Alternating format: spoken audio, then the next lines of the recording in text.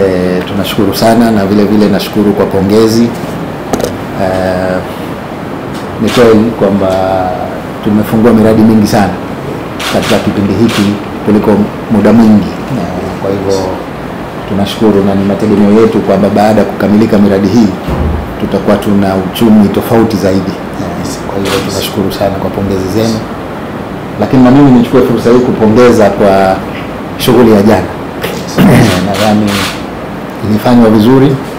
E, matarajio yetu mara zote ni kwamba e, jeshi linafanya ile 100% na, na tumeridhika kwamba tumeipata ile 100%.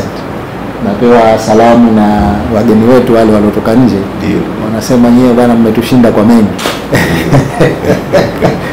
na jana eh, gwaride lilifanyika vizuri sana, ule utaratibu wote wa sherehe.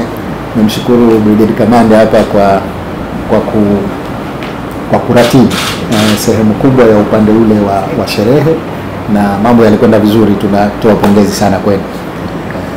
Kwa hivyo nishukuru sana, nadhani mpaka sasa hivi nchi iko salama, hali iko shwari, vyombo vyetu vya ulinzi na usalama vinafanya kazi vizuri sana.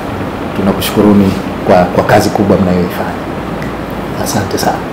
Mheshimiwa, nikupongeze, chukua fursa hii kupongeze kwa kazi kubwa unaifanya kuiletea Zanzibar maendeleo. Sisi tulioko nje tunaona jinsi unavyocheza mpira. Ndio mheshimiwa, ukiwa nje unaweza ukaona zaidi kuliko yule aliye ndani.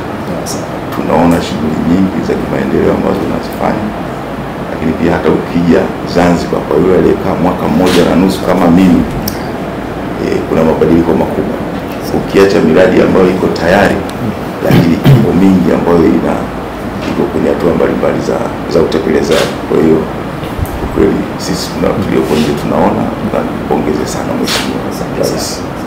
Nashukuru sana kupata fursa hii. Asante sana. Nakushukuru sana Mheshimiwa Rais. Asante sana.